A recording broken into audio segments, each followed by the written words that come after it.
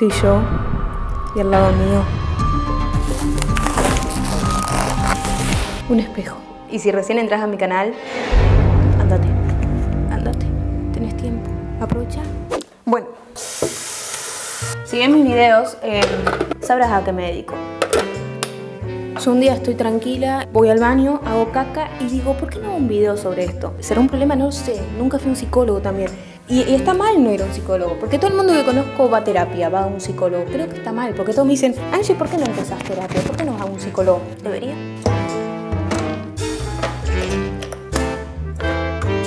Estoy en una etapa de mi vida que las cosas que me preocupan son raras. Y hace años descubrí que la manera de desahogarme es hablándole a una cámara. Yo les quiero contar lo que me preocupa hoy en día. Como que es una acumulación de cosas las que me preocupan. Me preocupa... ¿Qué me preocupa?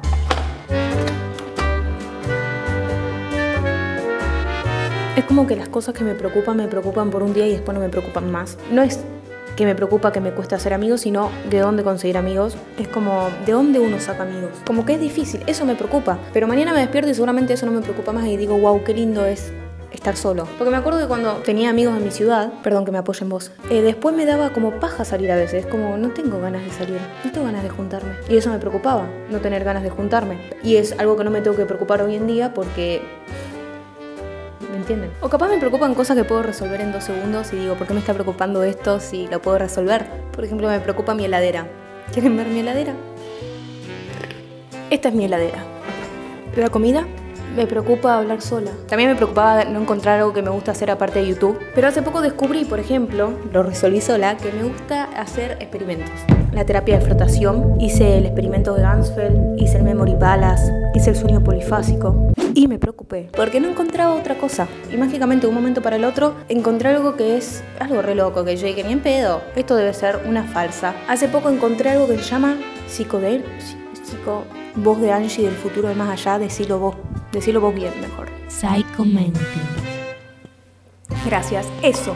Empecé a buscar videos, me aparecieron videos, me apareció uno de Fede Villagani y no lo quise ver, o sea, sí lo vi, pero vi un pedacito, no quería ver los defectos, no quería ver qué pasaba, solamente quería ver la preparación. Después me apareció un TikTok y yo dije, esto es una señal, tengo que hacerlo, tengo que intentarlo. Y investigué un poco qué es esto. Lo investigué. Bueno, primero voy a hacer caca, ustedes no van a ver eso, lo voy a cortar. O sea, el próximo clic que vean ustedes van a, va a ser de Joss Bienvenidos. Quiero que les entre que para alucinar no hace falta consumir drogas. Meditando, se puede alucinar. Y supuestamente con lo que voy a hacer ahora se puede alucinar. No lo sé porque todavía no lo intenté, pero cuando lo intente les voy a decir si se puede alucinar o no. Voy a mostrarles un video que vi por internet para que vean los pasos que voy a ir sintiendo en cada momento. Pero antes de mostrarles eso, eh, les quiero contar acabo de tener mi primer enema. No sé si estoy orgullosa. Pero nada, cagué, como les dije, fui a cagar y abrí el bidet para limpiarme el culo y salió un chorro de agua tan fuerte que llegó al techo. O sea, mírenlo, directamente me hizo un enema. O sea, me hizo un enema eh, abriendo el agua de esto. O sea, miren el agua hasta dónde llegó. Sea, ustedes capten el agua. Estoy bien. Entre vos y yo nunca va a haber secretos. Es, algo que es una locura, pero no, no, va a haber secretos. Vamos a ver el video, ¿ok? Supuestamente cuando empiece a hacer este reto, este experimento, no voy a sentir absolutamente nada. Después de dos minutos no va a pasar nada raro. Eh, es más, voy a tener ganas de mirarme al espejo. Lo dudo, pero bueno. Después de tres minutos voy a tener un sentimiento incómodo. Y no voy a tener ganas de mirarme al espejo. Después de cinco minutos mi cerebro se va a aburrir muchísimo. Después de seis minutos voy a empezar a ver todo borroso, excepto donde estoy mirando, o sea, mi cara. Va a estar todo el fondo borroso menos yo. Y acá es cuando yo debería cortar el reto, porque el reto son 10 minutos. Pero yo soy una tipa peligrosa, yo soy una mina muy peligrosa. Yo voy a seguir, pero a los 10 minutos voy a sentir una micro alucinación. Voy a empezar a ver mi cara deformada. Increíble, más deformada de lo que ya está.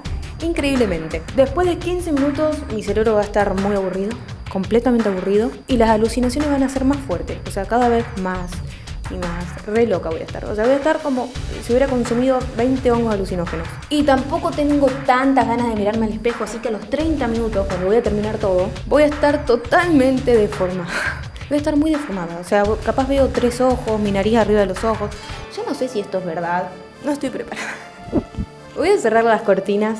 Aunque es de noche, entra un poquito de luz. Eh, compré velas, tengo velas. Así que voy a poner velas al lado espejo. Yo espero que no esté haciendo una macumba, espero que no esté haciendo nada raro y que no me pase nada raro porque no tengo ganas de, de tener miedo, ¿sí? No tengo ganas. Así que voy a... Las velas las voy a usar para rezar, para rezar que no me pase nada malo. Y voy a apagar las luces, voy a apagar las luces, voy a encender las velas y voy a empezar este reto. Les quiero contar que casi llamó a mi mamá para decirle que iba a hacer esto y si podía estar conmigo porque tenía miedo. Y después dije, no puedo ser tan cagona, lo tengo que hacer sola. Tengo mucho miedo, les juro que no pensé que iba a tener miedo.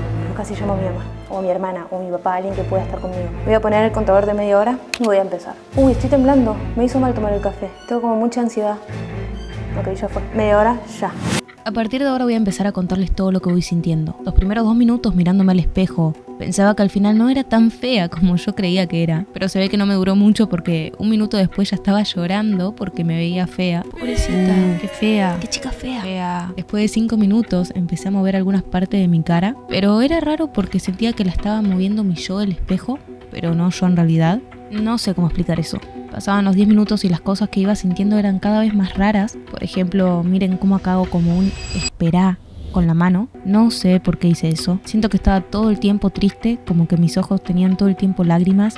Y no me acuerdo sentirme triste en realidad. Editando esto me di cuenta que el video pasó de no escucharse nada en la línea de tiempo a escucharse este sonido raro que nunca escuché en mi cámara. El sonido seguía pero yo no me di cuenta porque era algo que pude ver después, pero mientras pasaba eso yo tenía ganas de meterme más adentro del espejo y en esta parte se puede ver cómo casi lo intento.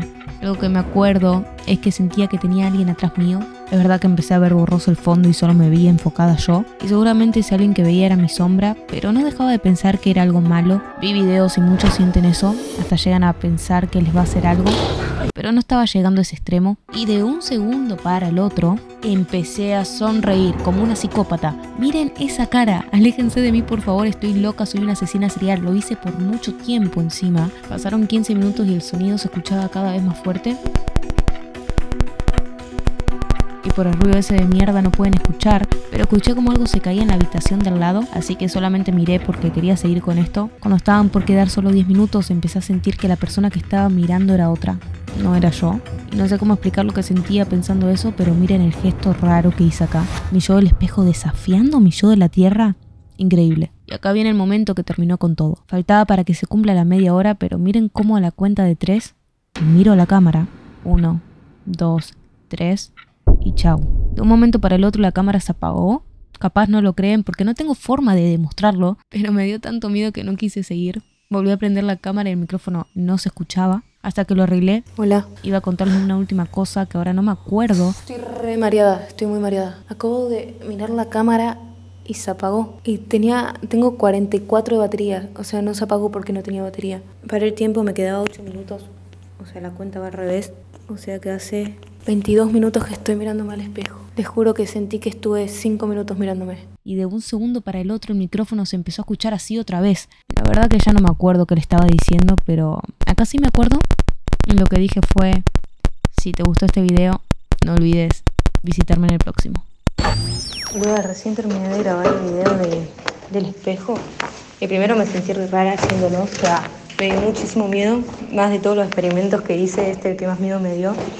Pero lo que me pareció más turbio fue que eh, lo quería hacer por media hora, ¿viste? Porque en realidad es 10 minutos, pero quería tener más alucinaciones, entonces lo hice por media hora. Y cuando iba a 22 minutos, boludo, se me dio por mirar la cámara, ¿viste? Yo no la tenía que mirar, pero dije, bueno, la voy a mirar. Y cuando la miro, cuando la miro se apaga, boluda. No, no, no, no, no. El cagazo que me pegué, ¿entendés que se apagó?